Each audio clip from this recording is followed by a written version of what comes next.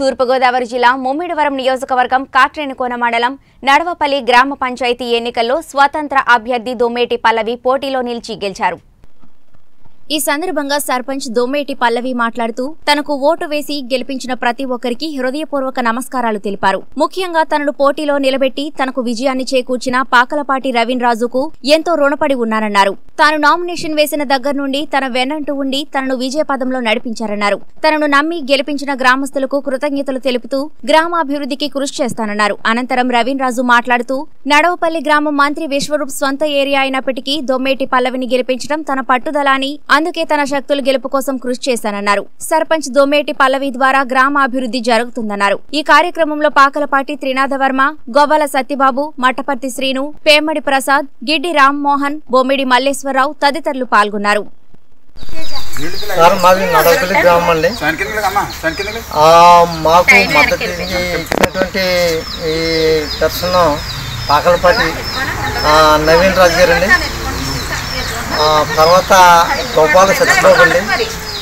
సా- మట్టపత్తి శ్రీనండి. ఆ, పాకలపాటి శ్రీనాథవరం అండి. తర్వాత కర్రీ చీనండి. దమ్మాడి ప్రసాద్ అండి. ఈ అందరూ కూడా మంచి సహకారం ఇచ్చండి మమ్మల్ని ఎవరిని నడిపించారండి. గత ఈ ఐదు సంవత్సరాల్లో గ్రామంలో ఈ అందరినీ కలుపుకొని ఏ మంచి వచ్చినా చెడ్డ వచ్చినా అందరితో కలుపుకొని కంపల్సరిగా గ్రామ అభివృద్ధికి పాటుపడతామని మరీ ప్రమాణం చేసి చెప్తున్నాం సార్. అదండి ఇప్పుడు సొమ్మేటి పల్లవి గారు రెండు వేల పద్నాలుగు పంచాయతీ ఎన్నికల్లో మూడు ఓట్లతోటి స్వల్పగా స్వల్ప ఓట్లతోటి ఓడిపోయారు సార్. మరి ఇదే మద్దతుతోటి ఇండిపెండెంట్ అభ్యర్థిగా మళ్ళీ నా గ్రామంలో నడవపల్లి పంచాయతీ గ్రామంలో నేనంటూ ఉన్నాను.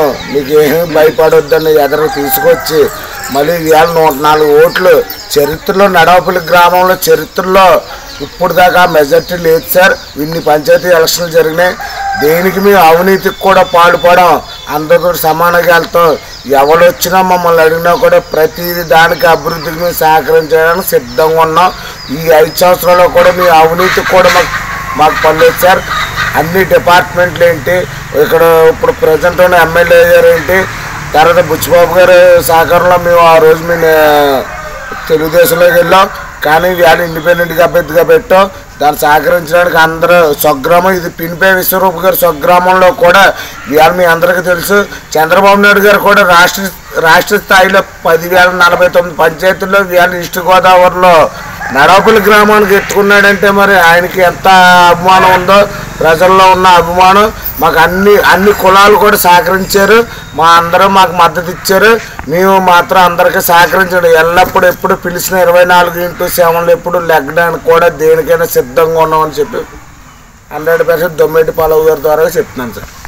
నిలబడే ఉద్దేశం లేదు. సహకరంగా ఓసీ ఓసీ అయింది కాబట్టి ఓసీలకు ఇచ్చారన్నారు మరి వేలవుతే నా సొంత పిన్ని పోటీ చేసినా కూడా నీ కులాన్ని లెక్క చేయకుండా మాత్రం దొమ్మేటి పల్లవి నెగ్గాలని మాత్రం హండ్రెడ్ పర్సెంట్ చేయను కట్టుబడి నేను వచ్చాను. అది నెగ్గించి మాత్రం నేను పంపించాను. మాట పోయి